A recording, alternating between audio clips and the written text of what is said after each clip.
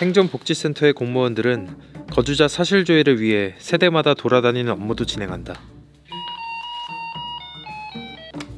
네 안녕하세요. 사우동 행정복지센터에서 나온 김태현 주무관입니다. 거주자 사실조회를 위해 나왔습니다. 그게 뭔데요? 어? 오빠, 수진아, 어 나랑 헤어지고 공무원 됐다는 얘긴 들었는데 이 근처에서 일해? 그러게 어떻게 이렇게 다시 만나네. 잘 지냈어? 너 광주 살잖아. 김포로 이사 온 거야? 사정이 있어서 아는 사람 집에 전입만 해놨어. 아, 요즘도 맨날 술 마시면 전화하고 그래?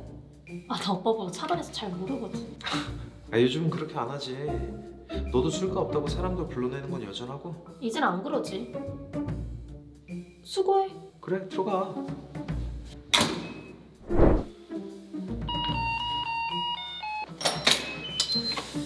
이렇게 우연히 만난 것도 보통 인연은 아닌 것 같은데 우리 다시 한번. 어 깜짝이야. 뭐야? 오빠, 왜? 누구야? 어, 예전에 같은 동네 살던 오빠?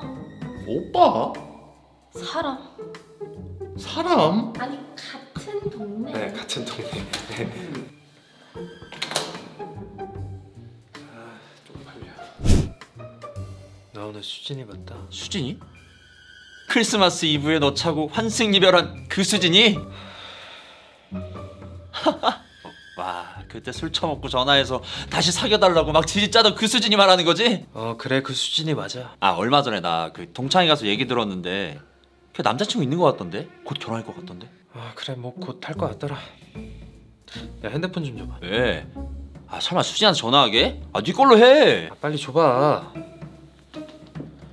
너 광주 살잖아. 김포로 이사 온 거야? 사정이 있어서 아는 사람 집에 전입만 해놨어. 아 네 안녕하세요 수고 많으십니다 시청 민원실이죠. 아 네 뭐 그 다른 건 아니고요. 요즘도 맨날 술 마시면 전화하고 그래? 누구야? 어, 예전에 같은 동네 살던 오빠? 오빠? 그 위장 전입 신고 좀 하려고요. 아 네 맞아요 아주 악질입니다. 혹시 어떻게 바로 좀 처리가 가능할까요? 아, 지금 바로요?